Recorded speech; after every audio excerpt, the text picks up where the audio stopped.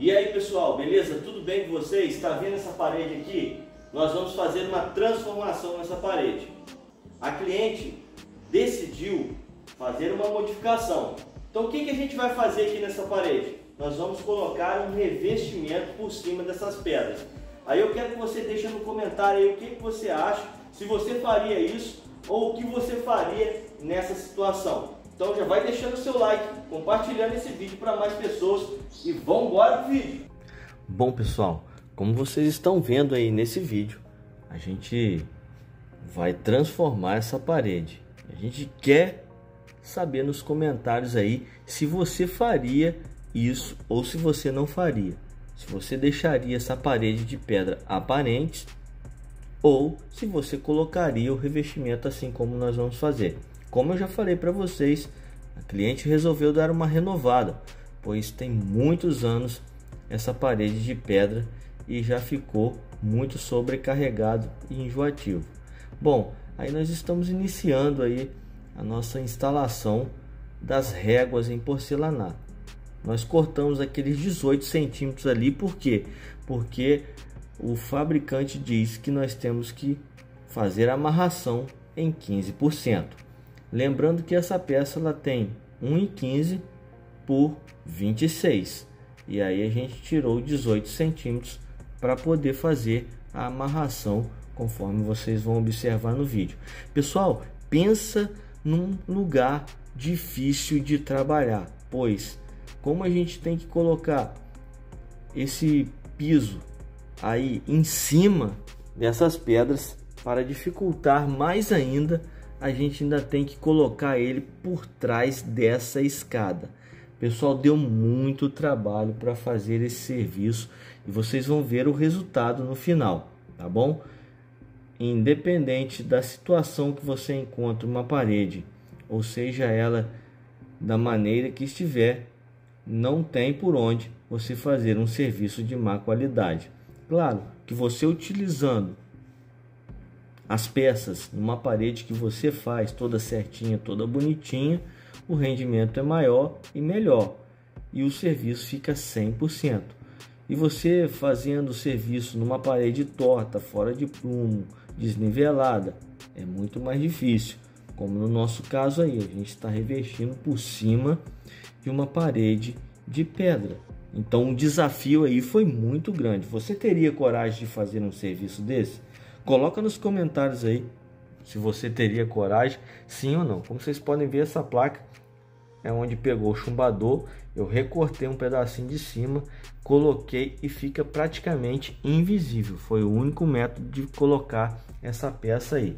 E aí a gente foi, ó, passando massa na parede, passando massa na peça e aí tinha que ir muito devagar, com muito cuidado, colocando os niveladores e empurrando a peça afastada para não tirar a massa, que ainda tinha isso. E depois a gente ia batendo, batendo e colocando os niveladores e encaixando por trás dessa escada aí. Deu muito trabalho, mas no final deu tudo certo e o serviço ficou 100%. O importante é isso, sempre a qualidade do seu serviço é que vai dizer que profissional você é. Como vocês podem observar, eu estou colocando agora a última peça de cima, fazendo aí sempre a amarração. Depois que a gente sair aí de, de trás dessa escada, aí tudo fica mais fácil. Como vocês podem ver, estou colocando a última placa de cima. Ela ficou com esse ressalto aí e o cliente, ou melhor, a cliente resolveu fazer o preenchimento. Agora a gente está colocando na parte de baixo da escada, aonde foi pior ainda do que naquela parte de cima, pois era muito imprensado e um lugar de difícil acesso para colocar essas placas de piso aí em porcelanato que a gente colocou na parede ainda por cima dessas pedras todas tortas. Lembrando que a gente utilizou aí dupla camada e a gente utilizou a argamassa T6 da Dry Leves, porque é uma argamassa de altíssima qualidade para poder fazer a ancoragem em cima dessas pedras aí e não dar problema futuro aí pra gente. Marga a massa de primeira que você encontra no site Escuto Velho.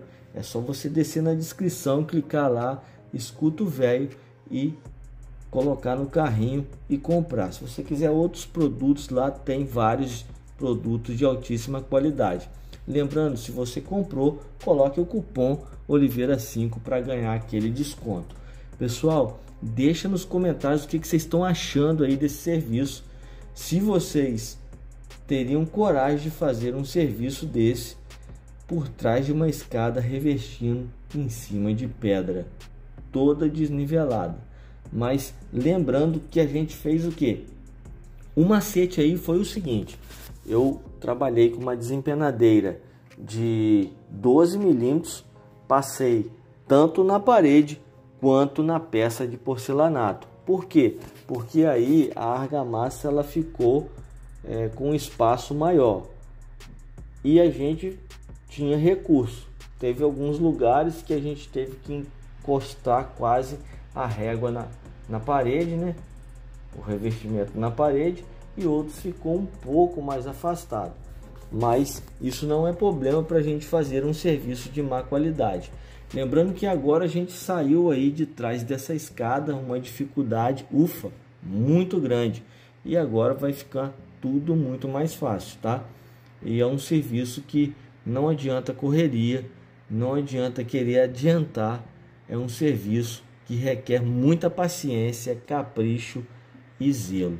Agora, como vocês podem observar, a gente coloca aquelas madeirinhas ali, botamos o nível a laser, deixando tudo na mesma alturinha e fizemos aí a primeira fiada. E agora nós vamos continuar revestindo aí a nossa parede em cima dessas pedras. Lembrando que a gente está utilizando aí em cima dessas pedras para colar a argamassa T6 da Daleves, tá? E é uma argamassa super resistente, uma argamassa que tem várias funções.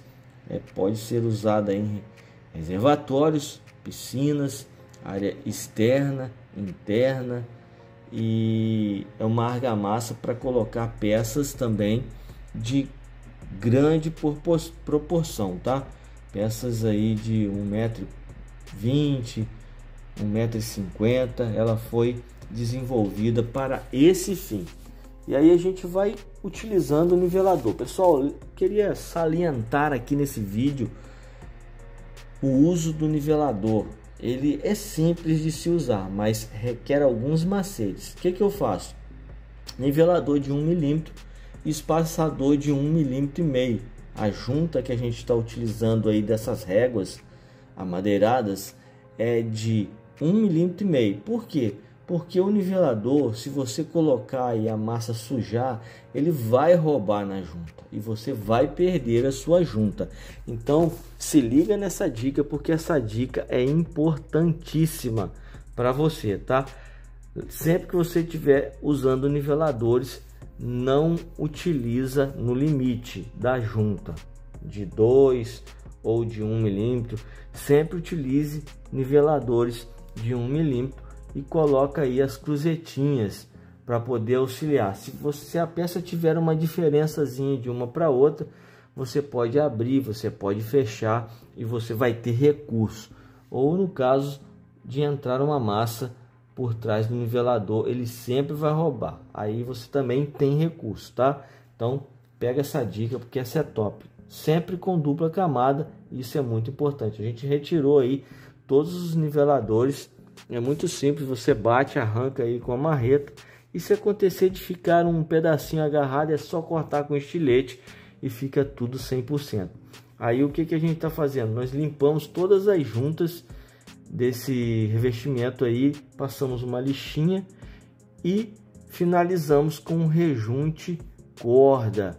E agora a gente quer mostrar o antes e o depois desse serviço. A gente quer saber se você gostou, se você faria, se você teria coragem de fazer um serviço parecido com esse, numa dificuldade grandiosa como essa que a gente mostrou aí para vocês, tá?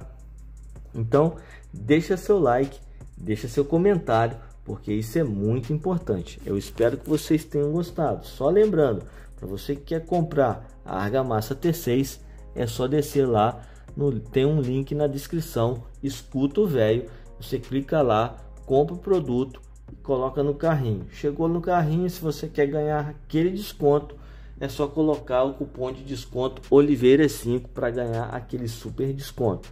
Olha só, espero que vocês tenham gostado dessa simples dica e aí a gente vai mostrar para vocês aí num próximo vídeo como que a gente faz para rejuntar para ficar extremamente na, no mesmo nível da peça. Então não perca o próximo vídeo porque a gente vai mostrar para vocês essa super dica.